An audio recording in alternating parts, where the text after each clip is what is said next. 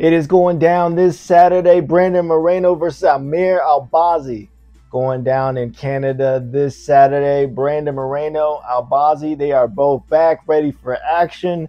Let's break this one down. But we got Mr. Brandon Moreno. This man is the former UFC flyweight champion.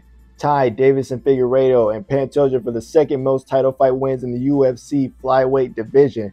Four times fight of the night, three times performance of the night. Former LFA flyweight champion, two fight losing streak. Unfortunately, it's Brandon Royval and Pantoja, five subs, 11 KOs. He is still the man. This guy got cut from the UFC, came back, became the champion, defended it.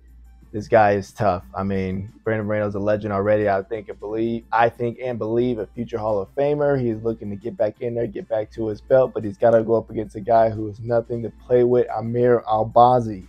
This man is a former UFC MMA bantamweight champion and a former FSC bantamweight champion. Six fight win streak, five KOs, nine subs, coming off a split divi- uh, split division, split decision win against Kai Kara-France.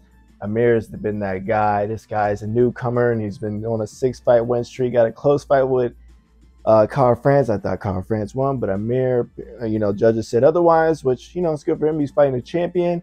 With that being said, I don't know how this fight's going to go. I imagine it's going to go a decision of some sort. These guys are both tough. A six fight win streak against a champion you know, the, the, the subs and KOs are there, but they're both just built tough. So I see maybe Brandon Moreno inching this one out, but you never know. You don't play around with a guy with a six fight win streak. You just know this fight's going to be exciting nonetheless. But let me know what you guys think.